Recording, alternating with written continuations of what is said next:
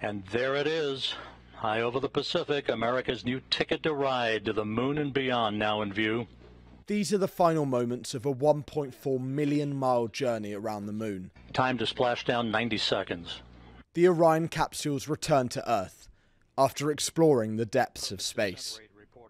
Splashing down in the Pacific Ocean. Splashdown. This is a spacecraft that went further than any designed to carry humans has gone before. The latest chapter of NASA's journey to the moon comes to a close. And it set the stage for the return of humanity to the moon and future missions to the Red Planet. For NASA, it's mission success.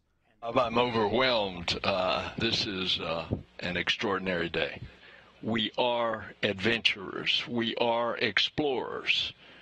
We always have a frontier. And that frontier is now to continue exploring the heavens. Three, two, one. Liftoff of Artemis 1. It was only 26 days ago that the Orion capsule, atop its 100 metre tall rocket, launched on its record breaking mission. But in that time, it has shown a glimpse of what the Artemis missions could achieve, and sent images to Earth that give us a new perspective on space.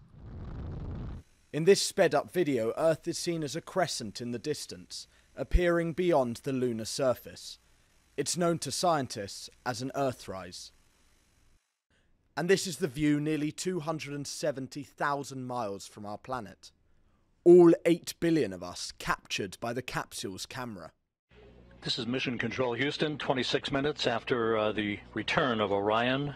This was an uncrewed flight, but in 2025, it is hoped the Artemis program will allow astronauts to take the first steps on the lunar surface in 50 years. In order to set the stage for the next uh, mission when a crew will be on board. If that is a success, NASA has its sights set on a mission to Mars. Fred Dimbleby, ITV News, in the United States.